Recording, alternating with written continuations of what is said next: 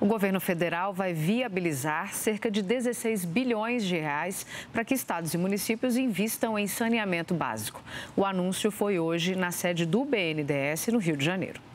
A artesã Fátima Mendes mora numa casa de vila no Rio de Janeiro. No local não existe saneamento básico. Para os moradores, é um sofrimento conviver com essa situação. É um problema de saúde e são mais de 300 pessoas que circulam pela vila e dependem de uma situação dessa situação ser melhorada, né? Cerca de 48% dos brasileiros moram em lugares onde não tem coleta de esgoto.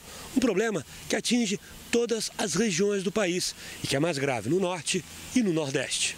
Para reverter esse quadro, o governo federal apresentou hoje na sede do BNDES um plano para ajudar os governos municipais e estaduais a desenvolverem os projetos na área de saneamento.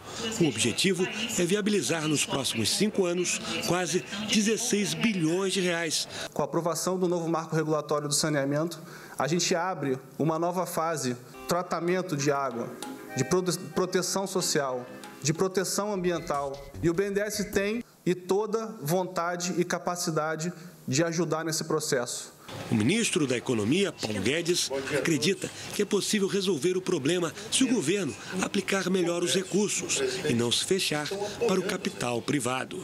Por 30, 40 anos, nós fizemos o que tecnicamente os economistas chamam do crowding out. O governo entrou, e empurrou para fora todo mundo. Isso que nós vamos fazer agora chama tecnicamente do crowding in, que é o dinheiro que virá. Ou nós criamos um bom ambiente regulatório para os investimentos privados acontecerem, ou os brasileiros, as crianças brasileiras vão continuar morrendo cedo. Para a ministra da Mulher, Família e Direitos Humanos, Damares Alves, o acesso ao saneamento básico é um direito do cidadão. Precisamos entender que os direitos humanos, eles são indissociáveis e universais.